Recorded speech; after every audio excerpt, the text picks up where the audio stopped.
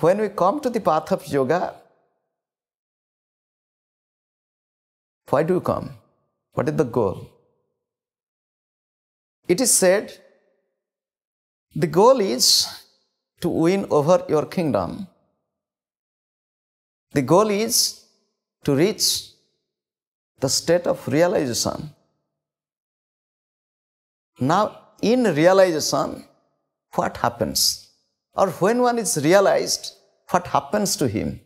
Somebody came to a yogi and asked, Baba, what is realization? What happens in realization? He said, realization in Sanskrit is siddha or siddhi. S I D D H I or S I D D H A. One who is realized is a siddha. Siddha yogi, we call. A realized yogi. Siddha Purusha, the realized person. Then, one meaning of siddha means boiled. One meaning of siddha, siddha anna, siddha tandula. So, one meaning of siddha is boiled. He said, My child, when the potato is boiled, what happens? When eggplant is boiled, what happens? He said, It becomes soft. He said, Those who are realized, they become very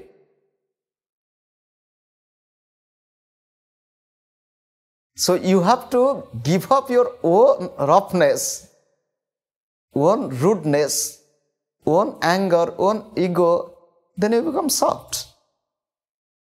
Somebody came to Sri Ramakrishna Paramahansa and asked, I want to be realized. He said, Do you think by realization you will get two, two more extra hands, or few more heads, or few more eyes on your face? You will be the same person, but your vision will change. The goal of sadhana, the goal of spiritual discipline, what is the goal? Tell me. Because you all have come to the path, you are sadhaka. Tell me what is the goal for which you have come? Come on, anybody?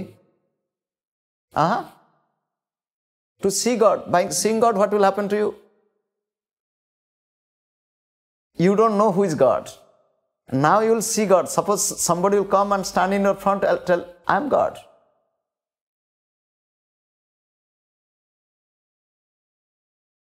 To know who am I, knowing who am I, what will happen? Tell me.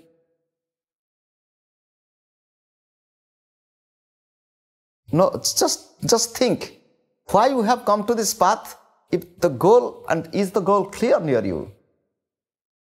Because Arjuna got confused because he is in the middle of the battlefield, he got confused. So now I am trying to put the question don't be confused, be very clear.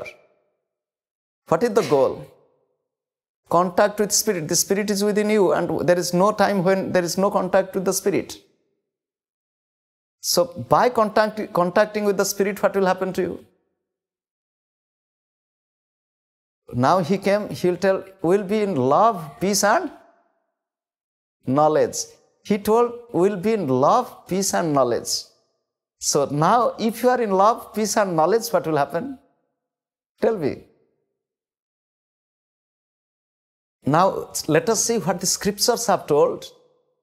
What is the goal? What is the goal? What the scriptures have told? We are studying the Gita. In the Gita, the last chapter is known as uh, Moksha Sannyasa Yoga or Moksha Yoga. Yoga of liberation, yoga emancipation. That is the goal. Liberation, free from bondage. Now, who wants to be free from bondage? Tell me. One who is in bondage. If one who is in bondage wants to be free from bondage, okay? Moksha me bhuyat iti itsa. I want to be free. I want to be free. Now, are you free or you are not free? Tell me. You are sitting in the classroom. Are you free to leave the classroom or no? Tell me. You have freedom. If you get the call of nature very strong, you can go out. Or if you don't like the class, you can leave the class. Okay, sometimes I tell, do know, the students have much more freedom than the teacher. You think of a teacher in the school, college, or university. The student comes and go, they might come and go, but the teacher is to be present there the whole period. So, if you want to be free, anybody who wants to be free must be in some bondage. And what is that bondage? The bondage of fear, bondage of ignorance, bondage of birth and death, bondage of attachment, bondage of emotion, all these you can sum it sum up as the result of ignorance. We want to be free from ignorance. We want to be in knowledge. We want to be, because when I'm in knowledge, then ignorance cannot play with me.